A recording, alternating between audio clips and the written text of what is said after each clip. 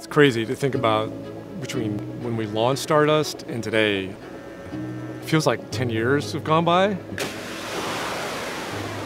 So much has changed. We, we've gone from two full-time people besides myself on staff to now like something like 19 folks on the team.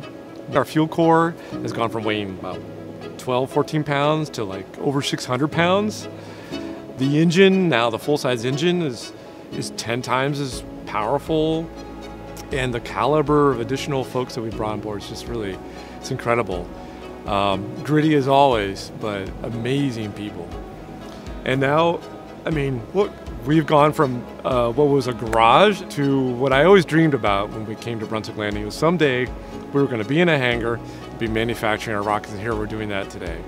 It's, uh, it's really becoming a dream come true.